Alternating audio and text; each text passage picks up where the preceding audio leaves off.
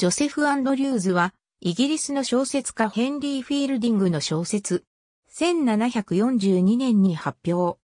主人公のジョゼフは、サミュエル・リチャードソン作、パミラのヒロインの弟という設定で、姉と同じように奉公先の女主人から迫られた。挙句追い出されるが、その後の冒険は、パミラとは、だいぶ様変わりする。パメラ・アンドリューズの弟ジョゼフは、姉の結婚相手、ブービー氏の叔父夫婦のもとに奉公に出ていたが、当主のトマス・ブービーが死ぬとすぐ、ブービー夫人の求愛を受けてしまう。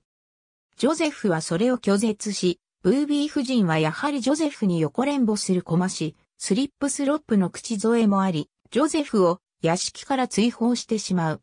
旅に出たジョゼフは、牧師エイブラハム・アダムズ、愛するファニーと共に苦難を乗り越え、無事ブービー屋敷に帰還する。